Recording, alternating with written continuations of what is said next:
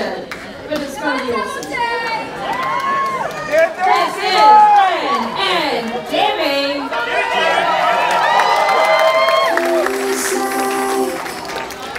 I'm standing in a timeless dream life.